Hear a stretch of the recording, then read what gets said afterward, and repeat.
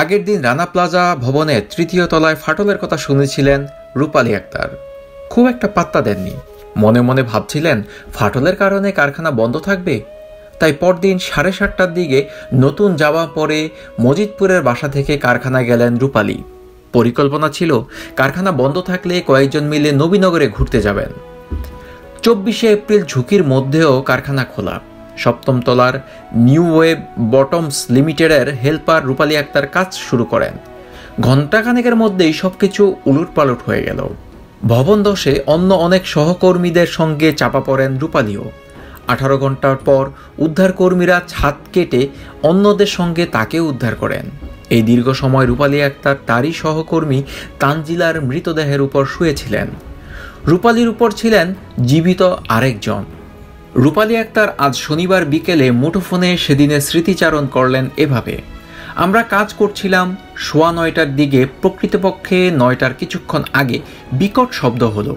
সঙ্গে সঙ্গে ভূমিকম্পের মতো বিল্ডিং কাঁপতেছিল সবাই বাঁচার জন্য দৌড়াদৌড়ি শুরু করে। আমিও ছুটতে গিয়ে পড়ে গেলাম। হঠাৎ দেখি আমি বিল্ডিংয়ের একটা ভীমের নিচে। আমার নিচে তানজিলা, হাত পা ঠান্ডা, আমার উপরে আরেকজন। তার এক হাত উপরে ছাদ। এভাবে আঠারো ঘণ্টা লাশের উপর শুয়ে থাকার পর গভীর রাতে ছাদ কেটে আমাকে উদ্ধার করা হয়। সৌভাগ্যক্রমে রূপালী আক্তার বড় ধরনের চোট পাননি। তবে দীর্ঘ সময় ধ্বংসস্তূপের মধ্যে আটকে থাকায় মানসিক ভারসাম্য হারিয়ে ফেলেন। দেড় বছর চিকিৎসার পর কিছুটা সুস্থ হন। বর্তমানে সাবারি পিজাডের একটি কারখানায় কাজ করেন রূপালী।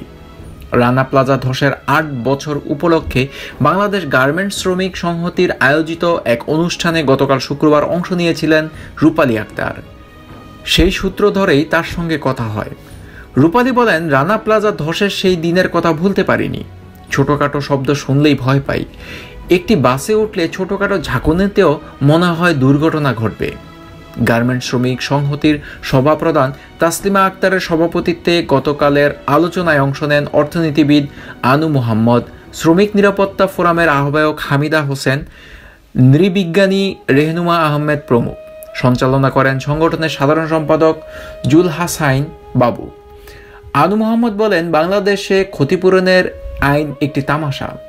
শ্রমিকদের সঙ্গে প্রতারণা। তিনি বলেন, রানা প্লাজা ধসের ঘটনায় মৌলিক কোনো পরিবর্তন হলো না। এখন পর্যন্ত বিচারের কোনো অগ্রগতি নেই। সবার আগে সর্বশেষ সংবাদ পেতে নিউজ এ টোয়েন্টি ফোর চ্যানেলটি সাবস্ক্রাইব করে বেল আইকনে ক্লিক করে রাখুন। ধন্যবাদ।